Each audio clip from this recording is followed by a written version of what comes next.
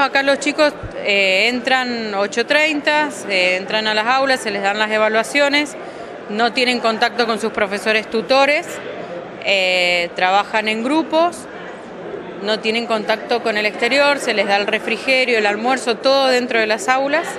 Termina la jornada a las 6, a las 6 de la tarde y al otro día eh, hacemos lo mismo. Termina hoy la jornada, las evaluaciones va todo sellado, todo en sobre y lo evalúa el colegio profesional, tanto de construcciones como de electromecánica. ¿Los chicos, chicos qué edad tienen? Y están entre cuarto y sexto año, dependen las integradoras en las que están, porque tenemos integradora 1 y 2 de construcciones y el de electromecánica.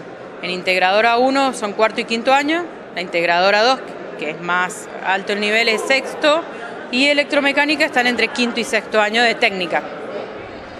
¿Cuánto tiempo es el que están sin tener contacto con el exterior los chicos? Ayer estuvieron de 10.30 a 18 y hoy de 8.30 a 17.30 más o menos.